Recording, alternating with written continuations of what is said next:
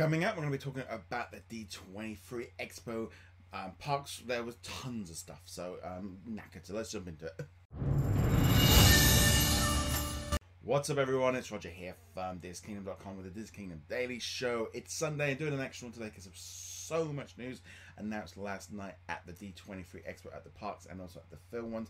I'm going to just go through as a quick rundown.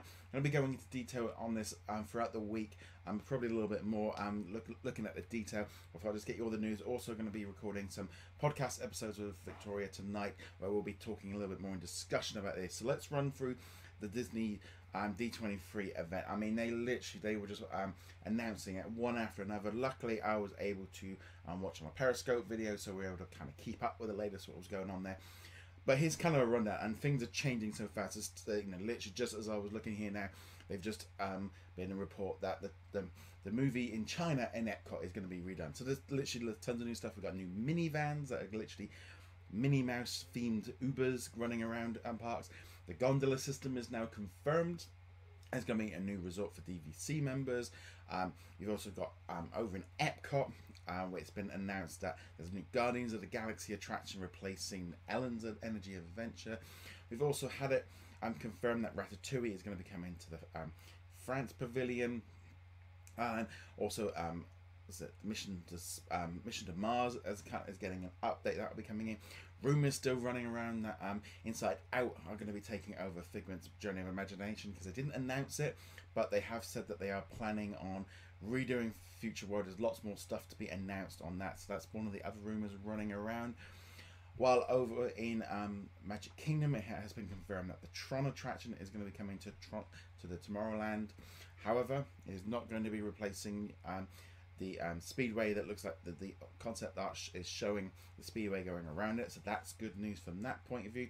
Over in Hollywood Studios, it's been announced that um, Toy Story Land will be opening up in summer 2018. And there was also a little bit about um, Star Wars Land, about that opening up in 2019. It's Going to be opening up in California first. You know, too much more into that one there. Um, also over at um, Hollywood Studios as well, um, the Great Movie Ride, which has been rumored to have been, and um, that's going to be changing over to a Mickey Mouse, kind of like a Mickey Mouse Shorts ride. Again, that's going to be closing in August. And that'll be um, replaced with this new attraction. looks pretty cool. I really like this. It's kind of like the first attraction really featuring Mickey Mouse. So I think that's definitely going to be a cool thing. We have a new theatre opening up in the Magic Kingdom as well. Nothing for um over in the Animal Kingdom. There was a new um, new ship for the Disney Cruise Line announced. There was also um, a some new content coming to the to the cruise ships for like Beauty and the Beast and stuff. While over in Disneyland, um, Paradise Pier is going to become Pixar. There's going to be some new Marvel attractions announced. Um, literally, I mean, there's just so much here. I'm just trying to remember. Well, there was so much stuff that was announced during. Oh yeah, got a Star Wars themed hotel coming to um, Walt Disney World, which has been rumored for a while. Disneyland Paris is going to be, um, the New York hotel is going to be rethemed as Marvel. Fantastic. That's the closest one to me, so that's I'd love to go and stay at that one. Um, there's a new restaurant coming to um, Epcot, which is the new one. Uh, let's have a quick look here. There's so much. Um, Rex. Oh yeah, they also announced that the Star Wars lands are now known as Star Wars Galaxy's Edge, so that's their official name and yeah, that was that was all the, all the stuff. There was just so much. They, I mean, a lot of it was confirmations of what we knew. Also, like you know, them focusing on Epcot. There's gonna be some big changes there. I have said with Epcot, they want to be um, true to what um, Epcot started with. But yeah, pretty much everything we kind of expected. The only thing, um, there's a few surprise little things thrown in there as well. Um, like Fantasmic, that everyone at the event got fast passes to kind of go run out and do that um, show that's returned to Disneyland. Painting the Night Parade, moving over Disneyland. There was just so much stuff. Um, so just going on that on there.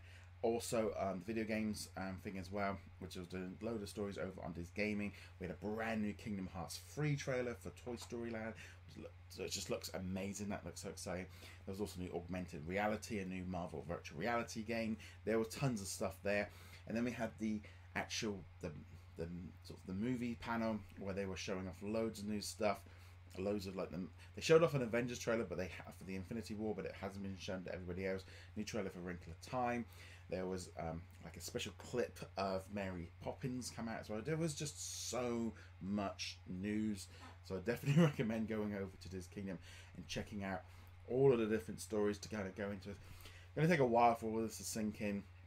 As I said, we're going to be doing a number of different podcasts this week, and where we're going to be talking about all of these things from the parks in more depth. Also, as far as the video game stuff as well, you want to check out uh, this gaming channel um, because um, my co-host James was at the event, and we're going to be recording a special episode on Tuesday this week, kind of going through everything that was announced at the event. But there we go. That was I really, as much as this plan for the Daily Show was to have it Monday through Friday, this weekend, and I'm expecting next weekend with the San Diego Comic Con, kind of shows that that's not really. there was just too much news. There was so much stuff coming out of it, and I suspect we'll be kind of dissecting some of this stuff as we go along. Anyway, guys, thank you very much for watching. Be sure to check us out over at DisKingdom.com. Hit that subscribe button